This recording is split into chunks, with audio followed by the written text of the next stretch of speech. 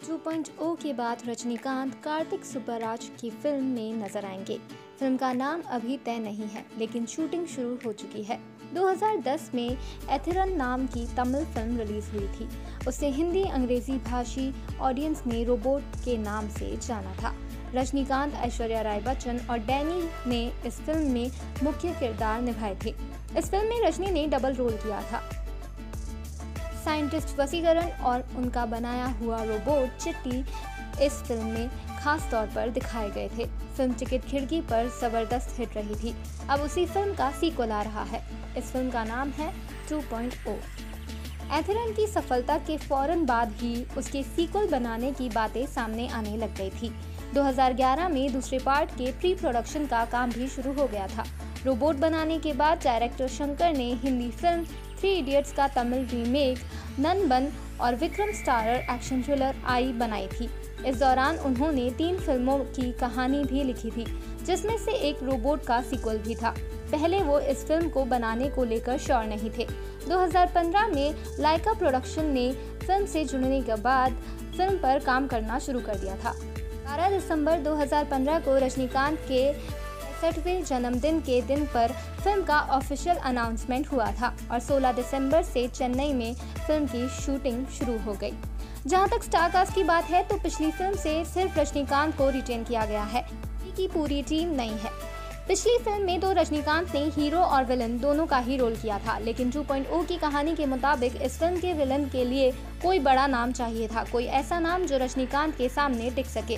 पहले इस रोल के लिए कमल हसन, आमिर खान और विक्रम को अप्रोच किया गया था, लेकिन बात नहीं बनी। इसके बाद फ़िल्म के मेकर्स पहुँचे हॉलीवुड एक्टर अर्नॉल्ड के पास। अर्नॉल्ड ने फ़िल्म के लिए बहुत बड़ी रकम मांग ली, जो टीम दे नहीं पा रही थी। इसके बाद ऋतिक रोशन और नील नितिन मुकेश का भी नाम इस फ़िल्म के लिए उछला, लेकिन आखिरकार अक्षय कुमार को साइन कर लिया गया। फ़िल्म की लीड हीरोइन होंगी एमी जैक्सन एमी इससे पहले अक्षय कुमार के साथ सिंग इज़ ब्लिंग में नज़र आ चुकी है। उनके अलावा फ़िल्म में आदिल हुसैन और सुधांशु पांडे जैसे एक्टर्स भी दिखाई देंगे। 2.0 में रजनीकांत एक बार फिर से डॉक्टर वसीकरण और चिट्टी का किरदार निभाते हुए दिखाई देंगे, जबकि अक्षय एक दुष्ट साइंटिस्ट और फ़िल्म के मेन विलन के रोल में होंगे। इस किरदार का नाम होगा डॉक्टर रिचर्ड। 2.0 की कहानी में इस बार चिट्टी और वसीकरण एक दूसरे से लड़ने की बजाय साथ मिलकर रिचर्ड से लड़ते हुए नज़र आएँगे। फ़िल्म के पोस्टर्स में अक्षय के लुक को देखते हुए लग रहा है कि रिचर्ड खुद एक ऐसा रोबोट है या उसने एक ऐसा रोबोट बनाया है जिसमें इंसान और पक्षी दोनों के गुण हैं। यानी वो उड़ भी सकेगा। ये महज एक अटकल और अंदाज़ा भर है। रजनीकांत का कद इतना ऊँचा है कि कोई भी नाम उनके सामने छोटा लगने लगता है। अक्षय कुमार पहली बार किसी तमिल फ़िल्म और रजनीकांत के साथ काम कर रहे हैं। वो खुद हिंदी फ़िल्मों के सुपरस्टार है। इतने सब के बावजूद सेट पर रजनीकांत को देखकर उनका फ़ैन जाग जाता था। अक्षय ने एक किस्सा बताया था कि रजनीकांत जो करते हैं, वो कैसे सबसे अलग होता है। उन्होंने बताया कि शूटिंग के दौरान सेट पर रजनीकांत अपने पैंट से धूल झाड़ रहे थे। उनको ऐसा करते देख आसपास में मौजूद लोग इकट्ठा होकर देखने लगे। उन्हें रजनीकांत का वो करना भी काफ़ी स्टाइलिश लग रहा था। ऐसे फॉलोइंग है उस आदमी की। वहीं फ़िल्म पिछले काफ़ी समय से बन रही है। फ़िल्म के बहुत सारे टेम्प्रेरी ग्राफिक्स वाले सीन्स पर लगातार काम चल रहा था। ऐसे में ही फ़िल्म का एक 44 सेकंड का टीजर लीक हो गया। कुछ ही घंटों में ये वीडियो चंद इंटरनेट पर आ गया था।